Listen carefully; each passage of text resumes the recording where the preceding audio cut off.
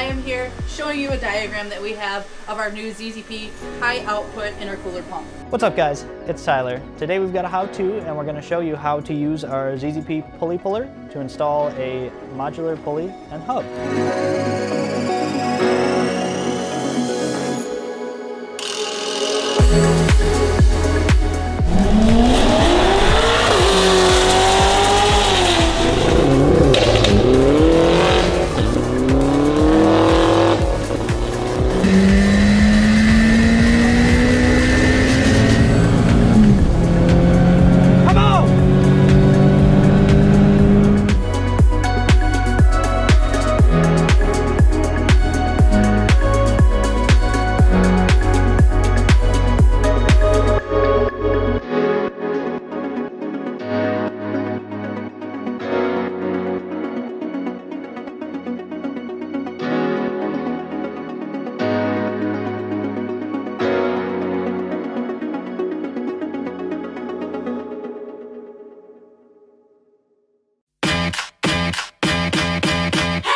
Ryan D at ZZP here, guys. Ryan D at ZZP here, guys. Ryan D at ZZP here, guys. Ryan D at ZZP. Ryan D at ZZP here. Ryan D at ZZP here, guys. Ryan D at ZZP here, guys. Ryan D at ZZP, guys. Ryan D at ZZP here today, guys. Ryan D at ZZP here. Ryan D at ZZP here today, guys. Ryan D at ZZP here today, guys. Gonna try our first uh, podcast. First Uh, podcast, new stuff. We're gonna do that. Oh, here we go. Bam. Oh, my short little man arms are too small.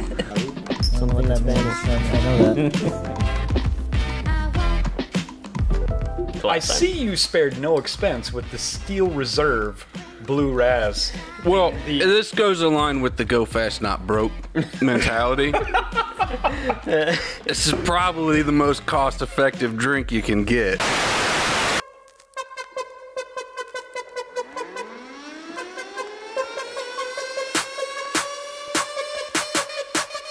Podcast. You've had uh What? What? What Pardon me. So, uh, What?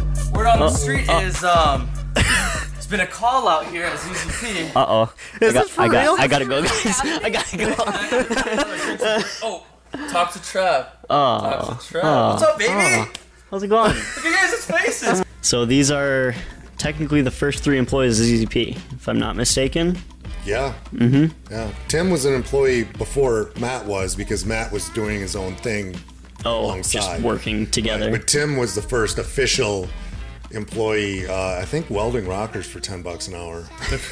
And, gr- and grinding uh, ported exhaust manifolds. Yeah. Out of your Good- garage. Good, times. Good With the times. 110.